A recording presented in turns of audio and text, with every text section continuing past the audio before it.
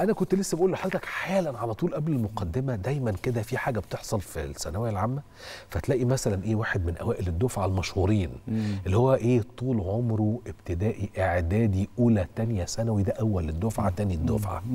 يجي في الثانوية العامة يشيع ما بين زملائه إن السنة دي صعبة جدا وإن هو مش عارف يذاكر وبعدين يجي قبل الامتحانات يقول لك أنا مش عارف ألم المنهج. يبدأ الولاد يتأثروا بده سلبا. وما يذاكروش. تمام. ويقول لك إذا كان فلان اللي بيطلع الأول مش عارف أنا هعدي إزاي؟ للأسف الشديد معظم من مصادر الثقة بالنفس آراء الآخرين حواليك عن نفسهم وعنك. بمعنى إن أنا لما أشوف إن شخص أقوى مني يقول لي أنا ضعيف أنا بقول طب أنا أعمل إيه؟ فده بيهز ثقتي بنفسي. فبالتالي لازم أنا كطالب وكولي أمر أحمي نفسي من هؤلاء الطلاب. فأنا بنصح أبنائنا الطلاب الثانوية العامة إن ما فيش حد منهم يتأثر بأي كلام سلبي من أي حد بل يتجنبوا مثل هؤلاء الطلاب لأن هؤلاء الطلاب بيبص فيهم طاقة سلبية. تمام؟ طيب ما أنا كل سنة بشوفه بيطلع الأول بيقول كده وبيطلع الأول بيطلع الأول. يبقى أنا أفهم على طول إن الطالب ده بيضحك عليا أو بيبث فيا طاقة سلبية يبقى أنا أتجنبه.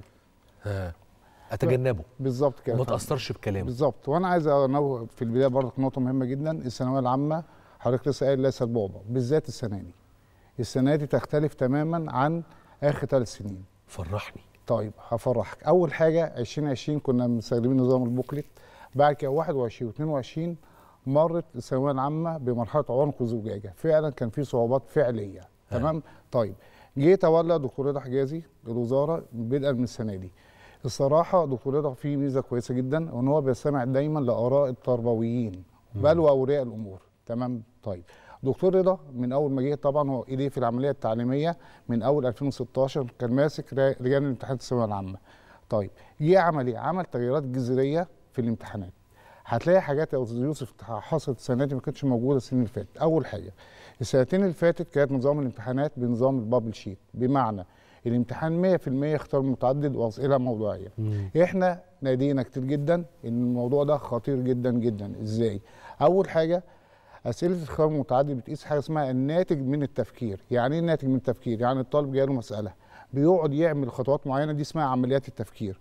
وبعد ما يعملها قد يختار الناتج غلط سواء بقى حصل له خداع بصري حصل له أي حاجة فهنا بياخد صفر على طول مفيش يعني خط وسط. طيب الأسئلة المقالية اللي إحنا طالبنا بإرجاعها ميزتها تمام. بقى إن هي بتقيس عمليات التفكير بمعنى إن هي بتقيس الخطوات اللي الطالب قام بيها. هنا العكس الطالب قد يقوم بخطوات صحيحة ويصل إلى ناتج غلط بس هنا هديله درجات على إيه؟ الخطوات